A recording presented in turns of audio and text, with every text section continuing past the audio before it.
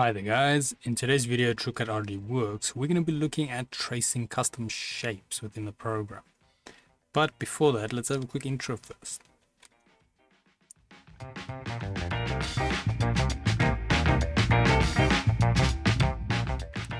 So today's video can be found on softwaretraining.co.za. We make short and easy to watch problem solving videos and we also have daily updates. Otherwise, back in the program here. Now, just a quick reminder, this is a mini-series on the design. Um, yeah, and then also I will leave relevant links in the description so you guys can follow along.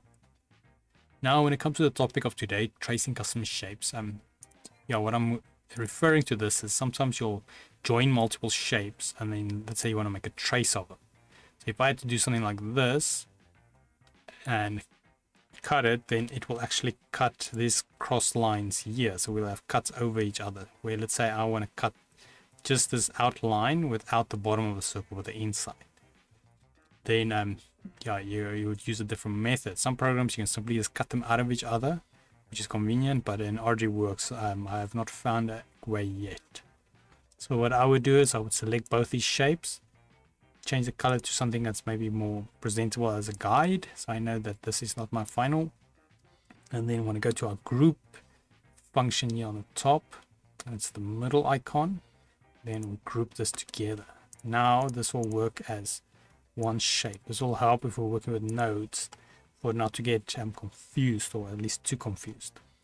Now this is still a kind of buggy process so um, you must play around with it a bit to get it to work well then what I'll do, I'll go on the left here, get the curve tool, select that, and then zoom in over here using my mouse wheel, about this close. Then like before, I will start on a point where I know um, I want to end at. So let's say I want to start here, go this way around and end at that point. So then I'll locate this point, simply left click, left click. I will not drag my mouse so it doesn't create a curve node. Obviously, I'll try to be a bit more clean in the actual project just to try to save time. And then with semicircles and half circles is always nice, at least in my opinion, to get like a half point of it. You left click and hold in, and now we can make that curve. Once again, it's important to keep this level horizontal, or if you're doing on a side vertical, but in our case, it'll be horizontal. Otherwise, we get, get a warped semicircle at the end. So I get it to somewhere where I'm quite satisfied. Leave it, find the closing point, click that and it will close it. You can maybe work on that a bit. You can adjust it with the node edit tool if you want. But I'm not going to spend too much time on that. then, but going to the node edit tool, I just want to make sure my path is properly closed.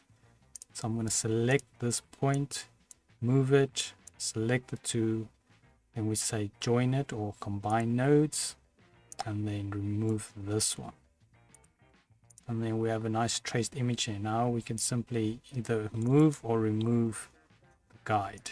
Change the color and then zoom out. And there we have a nice custom shape which uh, you can always play around with then. Obviously this could be whatever, but uh, just for this tutorial sake I just showed you a combination of curve and straight lines. Okay, my straight lines are not too straight, but they're supposed to be straight lines. In any case, um, if we head here to softwaretraining.co.za, you guys will notice we've got a variety of different softwares to do cover, and also you can isolate your search on the top right. If you do not, however, find what you're looking for, just go here, request a training video, and then we will make that video for you. But otherwise, thanks guys for watching, and cheers.